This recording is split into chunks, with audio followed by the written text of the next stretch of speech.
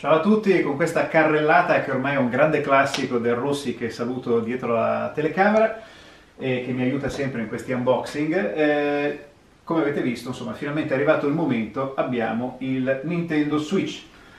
E siccome, come ricordava giustamente Filippo Facchetti qualche tempo fa su Facebook, ormai gli unboxing sono diventati le televendite, noi vi televendiamo, in realtà no, vi presentiamo il, la nuova console e facciamo questo unboxing che tornerà utile per vedere cosa ci sarà dentro la confezione che se siete interessati chiaramente al mondo, al mondo Nintendo andrete ad acquistare tra pochi giorni.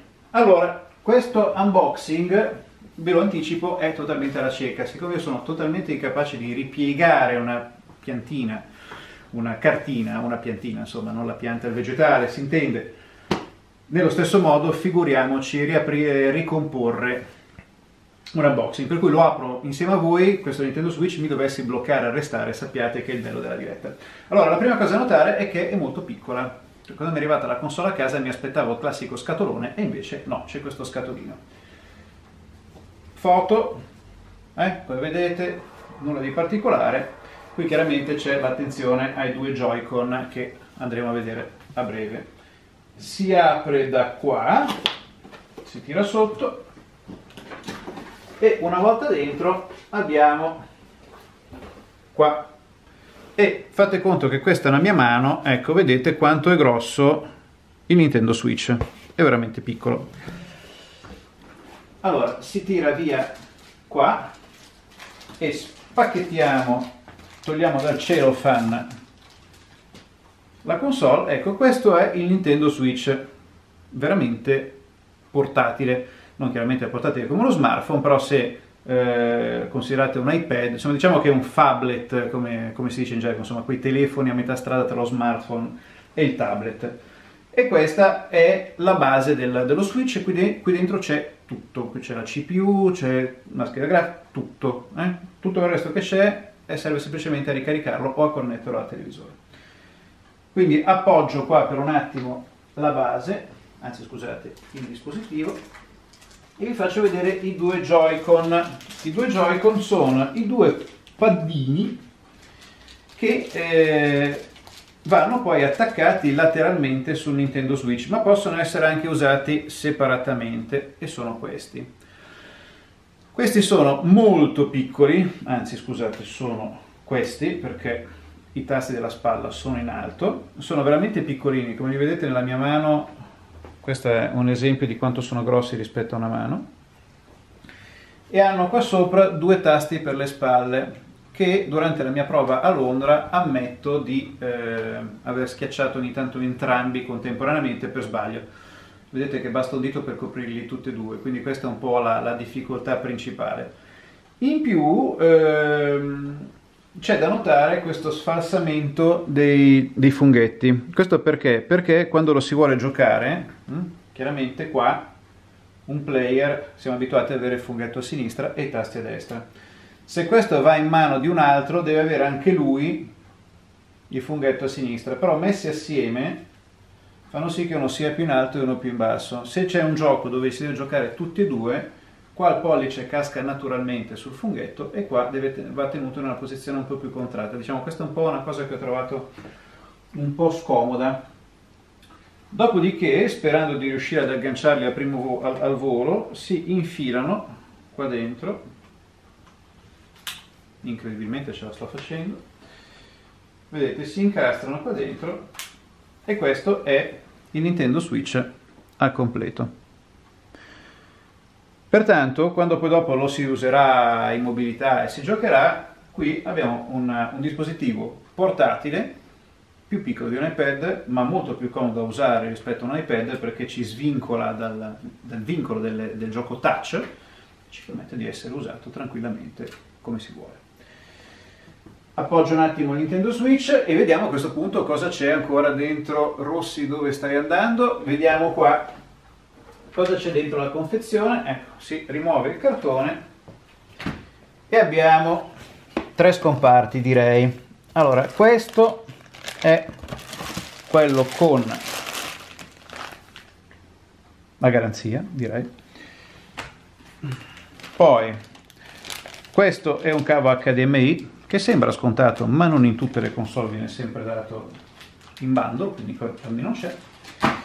E questo direi che è il carica batterie perché appunto la console può essere caricata tranquillamente in mobilità, per cui domani vado in aereo, attacco questo alla presa della corrente, naturalmente adesso che avevo lo switch troverò aerei senza presa della corrente, ma questo fa parte della vita, e comunque posso attaccarlo e giocarci qua quanto voglio. Poi, andando allo scomparto centrale, si trova questo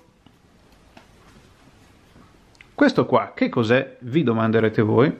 È il dispositivo a cui attaccare i joystickini quando si torna a casa, perché naturalmente adesso non capirò come si smolla, vediamo, speriamo che sia, ce l'ho fatta incredibilmente, ragazzi, una diretta finora fortunatissima. Quando poi io torno a casa e attacco lo switch sulla base e voglio andare avanti a giocare, che faccio? Attacco questi qua su questa base, vedete?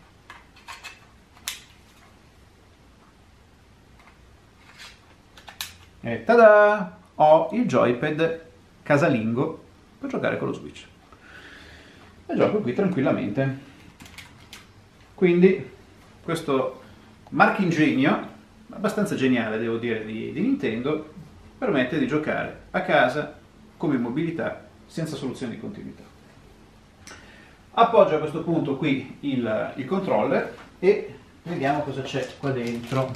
Ecco, questi sono, li vedete, i laccetti, adesso li tiro fuori dal cielo, ne tiro fuori solo uno giusto per darvi l'idea, perché una volta di più, quando invece verrà usata questa console per fare i classici giochi alla Wii Sport, ok? Quindi quelli dove bisogna tenere in mano questo accrocchio e muoverlo, il famoso motion control, il rischio chiaramente è che questa cosa finisca in giro per il salotto o nell'occhio di qualcuno. Con queste eh, fascette si prende, naturalmente adesso non mi verrà, perché ce l'ho fatta anche stavolta, si infila qua al polso e avete la classica sicura per evitare che mm, perdiate, colti dall'enfasi, il Joy-Con, come si chiama. E questa qua, a logica, nel terzo comparto ci sarà ci deve essere la base, perché come vi dicevo, no? potete giocare anche a casa, anzi dovete giocare a casa.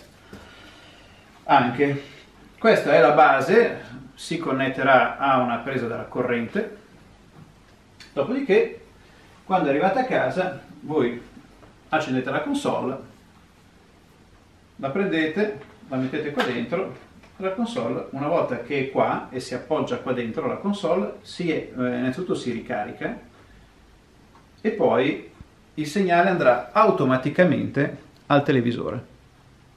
Vi posso garantire che sulla base della mia prova di Londra, il, ehm, quando si, si, incastra qua la console, il passaggio sul televisore è pressoché istantaneo. Quando si stacca e si fa uscire il, lo switch dalla, dalla base, si accende istantaneamente, cioè il passaggio tra eh, mm, come dire, versione casalinga e versione mobile è veramente eh, repentino.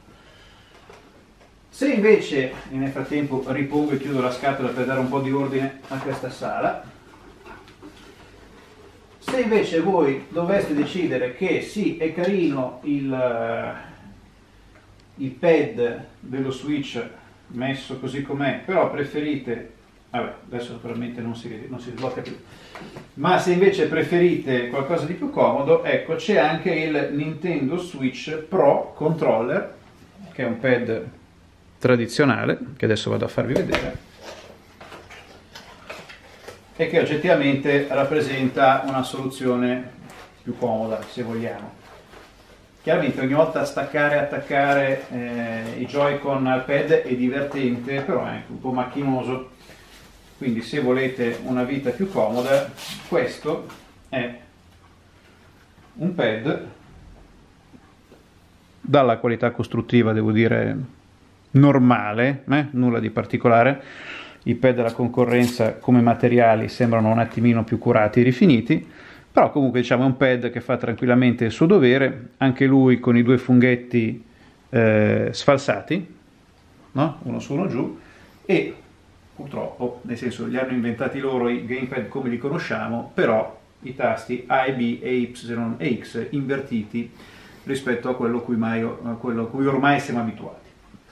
Per cui io so già che ogni volta che gioco a un gioco Nintendo devo mettere in conto che i primi 30-40 minuti mi devo riabituare che quando dice A premo B e quando dice B premo A e viceversa. Andiamo a questo punto a chiudere velocemente l'unboxing di quello che ho ricevuto da Nintendo e che installerò appena finito questo filmato con The Legend of Zelda, Breath of the Wild. Eh? Volete vedere come sono i giochi per Nintendo? Ecco, qui, meno male che... perché i giochi sono questi. I giochi stanno su questi micro schedine, che sono delle schedine SD normali, ma questo è un dito, una falange, e potete vedere qual è la dimensione. Quindi i giochi per Nintendo Switch sono minuscoli. Si mettono qua, sono alla fine grossi, anzi forse anche meno di quelli del 3DS. In questo momento non ho una cartuccia del 3DS sotto mano, ma anzi fatemi guardare, forse riesco a reperirla. Sì, la reperisco. Ecco, per darvi l'idea, questa sopra è una cartuccia del 3DS, questa sotto è una cartuccia dello Switch con eh, Zelda Breath of the Wild. Quindi qui ci sta meno roba che qua sopra, ma questa è molto più piccola. Ehm, tenendo presente che questa è una console pensata anche per i bambini piccoli, io vedo già due rischi. Il primo è che questa cartuccina vada a finire da qualche parte sotto il divano tra i cuscini, quindi state sempre molto attenti. La seconda è che questo è un bellissimo dispositivo, mm, chiaramente non posso trasmettervi le sensazioni che dà al, al, tatto, ma sono molto buone, è veramente bello. Chiaramente se questo vi cade per terra è diverso che se vi cade per terra questo con un guscio. Ho chiesto a Nintendo nel corso di un'intervista che ho fatto recentemente ai vertici di Nintendo a Parigi cosa succede, cioè quanto costa cambiare il vetro, da chi, da chi lo porto, quanto tempo ci mette la riparazione. Non, mi hanno detto che sono informazioni che non mi possono ancora dare. Quindi, qualora vorreste comprare Nintendo Switch non solo per voi ma anche per i vostri figli, attenzione a cosa fanno di questo e a cosa fanno delle cartucce perché il rischio concreto è che vi troviate dopo a litigare in famiglia. Comunque, Resta il fatto che, concludendo, eh, Nintendo ancora una volta è riuscita a fare una console diversa da tutte le altre. Abbiamo affrontato nel corso di vari articoli quali sono i pro e i contro di questa console e vedremo a breve se le cose saranno veramente come le abbiamo immaginate. Ma al di là di questo devo dirvi che mentre sin dall'inizio, quando ho provato per la prima volta il Wii U, ho avuto delle sensazioni, devo dire, abbastanza negative, Qua c'è un bell'oggetto, un dispositivo intelligente e che soprattutto inverte quelli che erano i presupposti del Wii U. Su Wii U avevamo una base pensante e un pad, un, un, scusate, un tablet che serviva a nulla se non a, a ritrasmettere le immagini o ad avere il controllo del gioco. Qui abbiamo uno switch, non so se il nome sia stato pensato a questo, ma è esattamente l'opposto. Cioè la base che si mette sotto il televisore non serve a nulla se non semplicemente a ricaricarlo e a connetterlo alla TV. Invece il, il, il paddone, eh, che prima non serviva a nulla, qua invece è la testa pensante, c'è dentro tutto qui e quindi è portatile e si potrà giocare in giro. Cosa succederà? Lo vedremo prossimamente, comunque senz'altro brava Nintendo per aver una volta di più creato qualcosa che mancava, il mercato dirà se era giusto che mancasse o se invece è quella trovata geniale, come il vecchio Wii che fu, Va detto che l'introduzione, anzi la reintroduzione del motion control e quindi giochi come One to Switch hanno la potenzialità per ripetere il successo del vecchio Wii e dell'accoppiata console più Wii Sport. Mm? Peccato che One to Switch non sia in bundle, sarebbe stato perfetto, lo sarà senz'altro in futuro però diciamo che se questa console riesce ad andare a risvegliare quei oltre 100 milioni di persone che comprarono il Wii anni fa, questa console sarà un successo assicurato. Con questo è tutto, vi ringrazio, restate sempre con noi e chiaramente ci vedremo per le prossime dirette e i prossimi unboxing. Ciao ciao!